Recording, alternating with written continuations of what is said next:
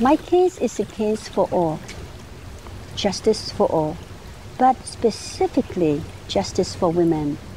We are talking about those who have no voice, and among the poor, majority are women. Among those who are afraid to speak, majority are women. If I were to pay the fine and accept the verdict, I would say to women is that even if you are raped, you are uh, abused at home or in public, you just bite it, live with it, put your head down.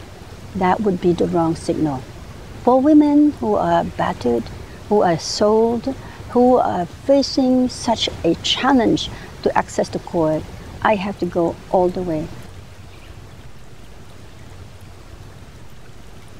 The chance of being arrested, the chance of going to jail for coming to America to talk about the women of Cambodia and their, their suffering, the violations of their human rights will lead to very severe consequences.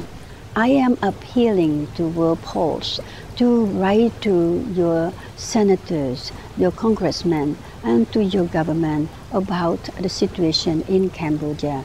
The first thing you need to do right now is write to Secretary of State Hillary Clinton to urge her to uh, send a high delegation to Cambodia. She is committed she has committed herself. We admire her courage. This is a call for help, a call for unity. I thank you. I thank you very much for taking uh, the time and um, giving me the space to speak on behalf of Cambodian women.